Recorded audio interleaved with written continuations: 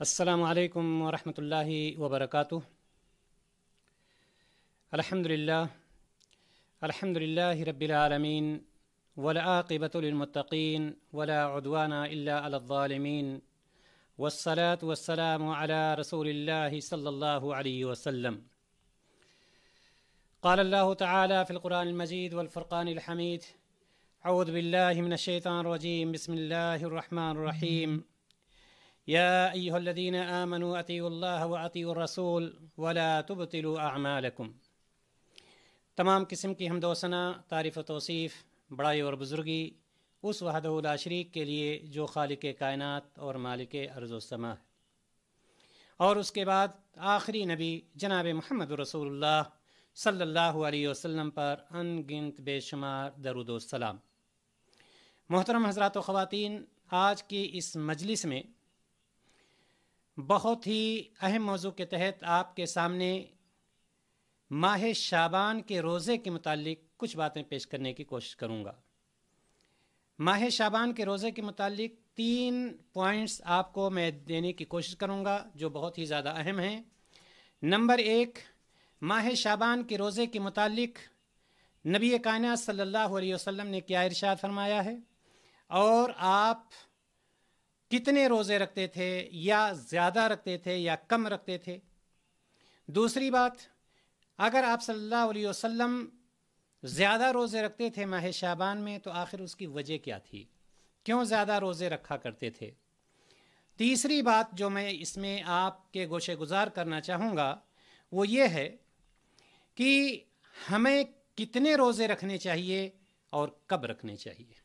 कितने रोज़े रखने चाहिए और कब? ये तीन बातें आपके सामने गोशे गुजार करने की कोशिश करूँगा। अल्लाह तबारक ताली से इस दुआ के साथ किला हल आलमीन, किताब सुन्नत की रोशनी में हमें आपके सामने कुछ बातें पेश करने की, आप तमाम हजरात ख़वातीन को सुनने की और हम सबको कहने और सुनने से ज़्यादा उस पर अमल करने की तोफ़ी अता फ़रमाए। आमीन। या रब्बल आलमीन।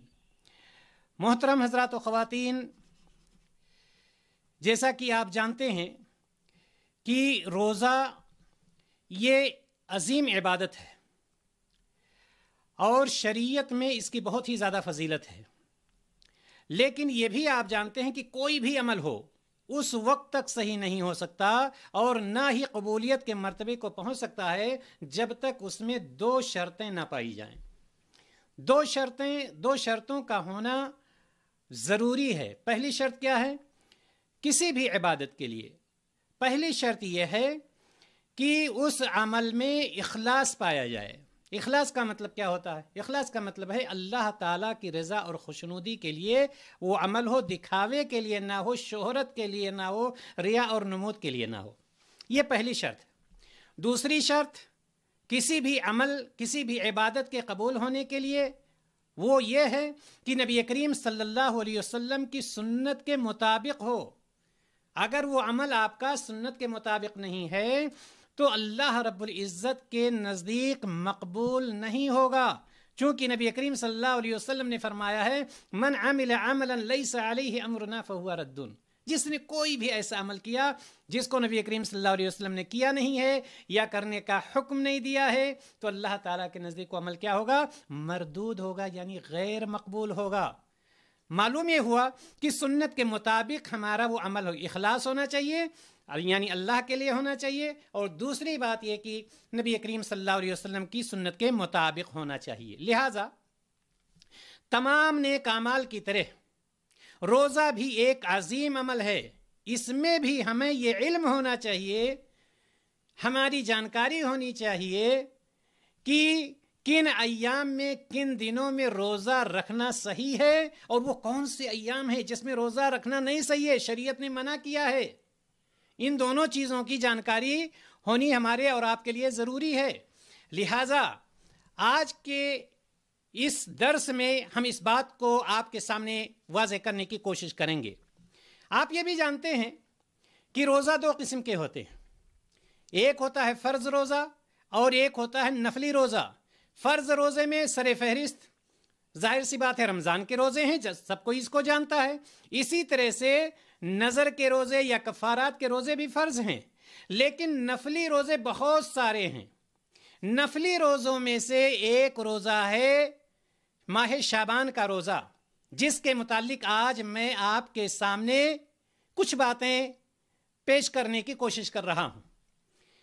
इससे पहले कि मैं असल पॉइंट पे आऊँ, आप रोज़े की फजीलत जान लें कि रोज़े की फजीलत जैसा कि मैंने शुरू में बतलाया कि बहुत ही नेक अमल है और शरीयत में इसकी बहुत ज़्यादा फजीलत है। अल्लाह के रसूल जनाब मोहम्मद रसूलुल्लाह सल्लल्लाहु अलैहि वसल्लम फरमाते हैं, सही बुखारी की रवायत कि मन सामा योमन फ़ी सबीलिल्लाह वजह जिसने एक रोज़ा अल्लाह ताला के रास्ते में रखा बदल्लाह वजह। तो अल्लाह तबारक ताला उसके चेहरे को दूर कर देता है। किससे दूर करता है और कितना दूर करता है? आने नारी खरीफन। जहन्नम से सत्तर साल की मसाफत के बराबर। एक रोज़ा, सिर्फ़ एक रोज़ा अगर कोई इखलास के साथ अल्लाह ताला के लिए रखता है तो अल्लाह तबारक ताला उसका चेहरा जहन्नम से सत्तर साल की मसाफत के ब, के बराबर दूर कर देता है। एक आदमी ज़्यादा से ज़्यादा कितने दिनों तक ज़िंदा रहता है? सत्तर तक पहुँचते पहुँचते लड़खड़ाने लगता है।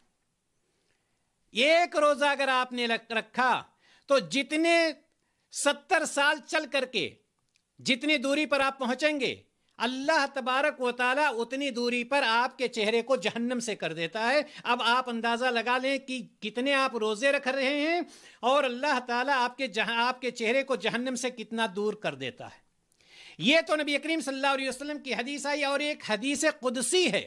नबी करीम सल्लल्लाहु अलैहि वसल्लम इरशाद फरमाते हैं कि अल्लाह तबारक व ताला इरशाद फरमाता है। कुर्बान जाइए। रोज़े की फजीलत में आपको बतला रहा हूँ, बड़े इख्तसार के साथ। अल्लाह तबारक ताला फरमाता है, कुल्लु आमल इब्न आदम लहू इल्लसौमा रसूलुल्लाह सल्लल्लाहु अलैहि वसल्लम ने फरमाया कि अल्लाह ताला फरमाता है कि इंसान का हर नेक अमल खुद उसी के लिए है, मगर रोजा। याद रखें, मगर रोजा। फ़िन्नहु ली व अना अजजी बिह। वो रोजा मेरे लिए रखता है, मेरे लिए खास कर देता है। और उसका बदला मैं दूँगा, उसका बदला मैं दूँगा। आप देखें किसी तालब इल्म को, किसी स्टूडेंट को या किसी वर्कर को, अगर किसी चीफ गेस्ट से वो कोई गिफ्ट पा जाता है, कोई इनाम पा जाता है, कोई सर्टिफिकेट पा जाता है, पूरी ज़िंदगी वो बयान करता है। बल्कि उसके पीठ पीछे लोग बयान करते रहते हैं ये फलां से सर्टिफिकेट पा चुका है अवार्ड पा चुका है या इनाम पा चुका, वगैरह वगैरह। यहाँ अल्लाह तबारक वाली खुद फरमाता है कि रोज़ा ख़ास किया इस बंदे ने मेरे लिए, मैं ही उसका बदला दूँगा। मोहतरम हजरात ख़वातीन, कहने का मतलब यह है कि रोज़े की बहुत ही ज़्यादा अहमियत और फजीलत है इस्लाम में। शाबान के रोज़े के मुतालिक मैंने जैसा कि बतलाया, तीन पॉइंट।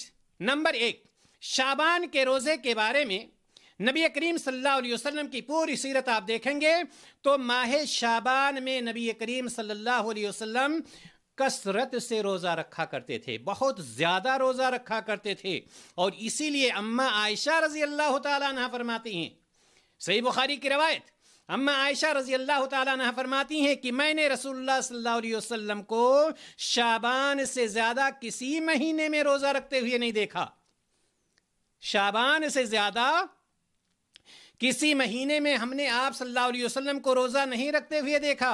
और इसी तरह से दूसरी रवायत तिरमिज़ी की है, जिसमें उम्मे सलमा रज़ी अल्लाह तहा फरमाती हैं कि नबी करीम सल्लल्लाहु अलैहि वसल्लम को दो महीने मुसलसल रोज़ा रखते हुए नहीं देखा, सिवाय रमज़ान, सिवाय शाबान और रमज़ान के। सिवाय शाबान और रमज़ान के। क्या पता चला इससे? इससे यह मालूम हो गया कि नबी करीम सल्लल्लाहु अलैहि वसल्लम माह शाबान में बहुत ज़्यादा रोज़ा रखते थे, कसरत से रोज़ा रखा करते थे। तो एक चीज़ का तो आपने अंदाज़ा लगा लिया, आपको यह पता चल गया हदीस के हवाले से कि नबी कायना सल्लल्लाहु अलैहि वसल्लम माह शाबान में कसरत से रोज़ा रखा करते थे। अब दूसरा पॉइंट जो मैंने बतलाया था कि क्यों ज़्यादा रोज़ा रखा करते थे। आखिर वजह क्या थी? रमज़ान को तो छोड़ दीजिए, रमज़ान का महीना तो फ़र्ज़ रोज़े हैं। लेकिन और महीने जो है रमज़ान के अलावा और शाबान को छोड़ करके आप कसरत से या ज़्यादा से ज़्यादा रोज़ा क्यों नहीं रखते थे आप सल्लल्लाहु अलैहि वसल्लम? ओसामा बिन जैद रज़ी अल्लाह तु मशहूर सहाबी, उनसे रवायत है कि उन्होंने रसोल्ला सल्लल्लाहु अलैहि वसल्लम से दरियाफ्त किया। किसने? ओसामा बिन जैद रज़ी अल्लाह तु या रसुल्ला मैंने किसी भी महीने में आपको इस कदर रोजा रखते नहीं देखा, जिस कदर आप माह शाबान में रखते हैं। आखिर वजह क्या है? जिस कदर आप माह शाबान, ये ओसामा बिन जैद रज़ी अल्लाह तु नबी करीम सल्लल्लाहु अलैहि वसल्लम से सवाल कर रहे हैं कि आप जिस कदर माह शाबान में रोजा रखते हैं और महीनों में नहीं रखते हैं तो आप सल्लल्लाहु अलैहि वसल्लम ने फरमाया, निसई की रवायत शहरुन यगफुलन्नासु अनहु बैना रजब व रमदाना ये वो महीना है जिससे लोग गाफिल हैं जो कि रजब और रमज़ान के दरमियान में आता है रजब उसके बाद शाबान उसके बाद रमज़ान तो शाबान रजब और रमज़ान के बीच में हुआ ना आप सल्लल्लाहु अलैहि वसल्लम ने फरमाया, ये वो महीना है जिससे लोग गाफिल रहते हैं जो रजब और रमज़ान के बीच में आता है। वह हुआ शहर रब्बिल आलमीन। वो ऐसा अमाल है, वो ऐसा महीना है। आप सल्लल्लाहु अलैहि वसल्लम ने फरमाया, ये वो महीना है कि इसमें आमाल रब्बुल आलमीन की तरफ़ उठाए जाते हैं। यानी इसमें आमाल अल्लाह तबारक ताला के पास पेश किए जाते हैं।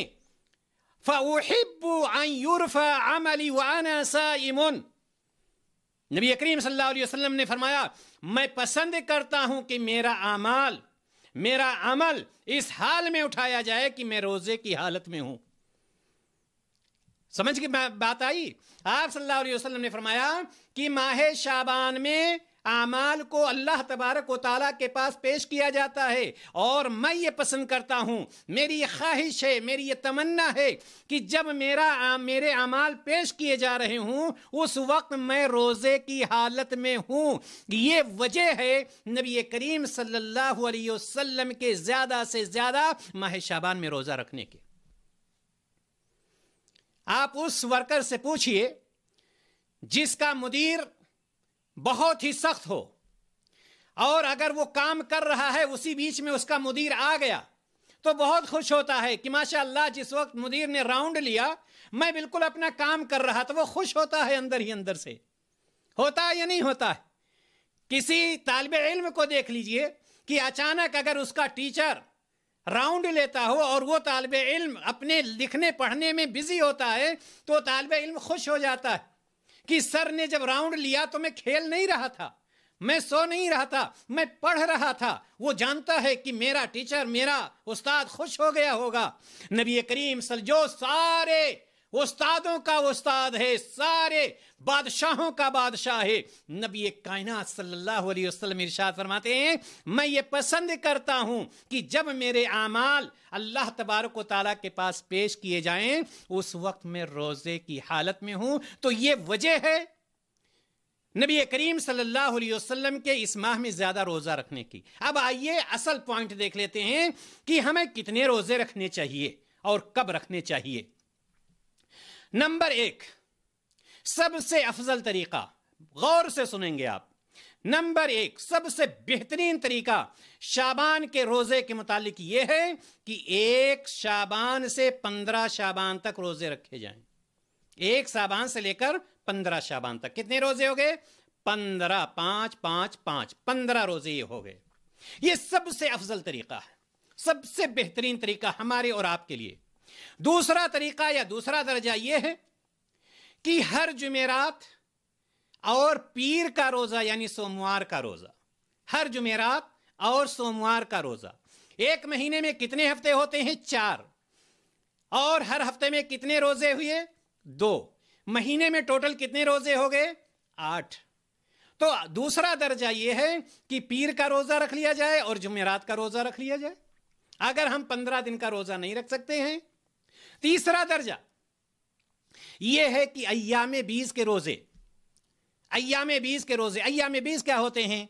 अरबी महीने की तारीख तेरह, चौदह, पंद्रह। तेरह, चौदह, पंद्रह, यानी तीन रोज़े। अगर आप पंद्रह दिन रोजा नहीं रख सकते हैं तो कम से कम आठ रख लीजिए, यानी जुमेरात और पीर का रोजा। अगर आठ भी नहीं रख सकते हैं तो कम से कम आप तीन रोज़े रख लीजिए। कौन से रोज़े? तेरह, चौदह, पंद्रह के रोज़े? तो ये हैं रोजा रखने के अयाम हमारे और आपके लिए, अगर हम ये चाहते हैं कि माह शाबान से फ़ायदा उठाएँ। ये तीन दर्जे माह शाबान में रोजा रखने के मुतालिक हैं। हमें इस पर अमल करने की कोशिश करनी चाहिए। लेकिन जो लोग ना तो पंद्रह दिन का रोजा का ख्याल रखते हैं, एक से पंद्रह तक हाँ ये भी है, अगर पंद्रह दिनों में आप एक दिन रखते हैं, दूसरे दिन नहीं रखते हैं, तीसरे दिन रखते हैं, चौथे दिन नहीं रखते हैं या एक दिन रखा, दो दिन गैप किया, चार, यानी पंद्रह दिन में आपने आठ दिन रख लिया। पंद्रह दिन में आपने छः दिन रख लिया, इसमें भी कोई कबाहत की बात नहीं है, लेकिन एक से पंद्रह के बीच में।